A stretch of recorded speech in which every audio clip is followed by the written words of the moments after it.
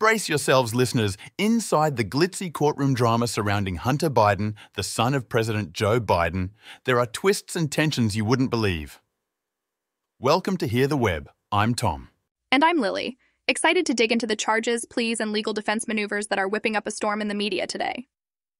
This morning, Hunter Biden found himself under the federal court's microscope, pleading not guilty to three very serious firearms charges despite his legal team's initial plan of a plea deal. That's right, Tom. His lawyer, Abbe Lowell, sealed the not guilty plea. But let's note Biden's request to appear via video was slapped down. It felt like the court communicated a very clear message no special treatment here. Yes, Lily. And to add another layer of complexity, this case plays out in parallel to the political theatre of the upcoming 2024 presidential election, pushing the Biden family further into the public eye. What's more intriguing is the charges themselves, Tom. Two of them accuse Biden of lying about his use of narcotics when he bought a firearm in Delaware in 2018.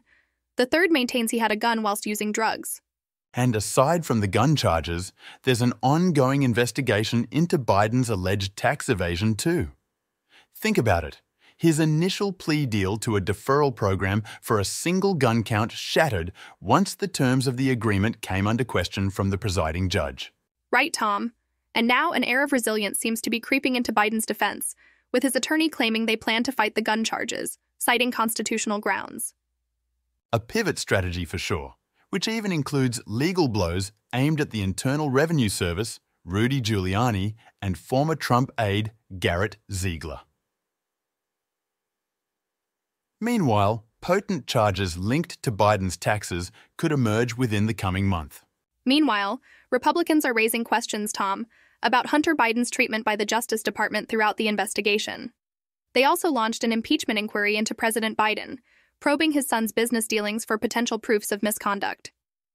Amidst all this, the White House remains resolute in its denial of the president's involvement in his son's case or business activities.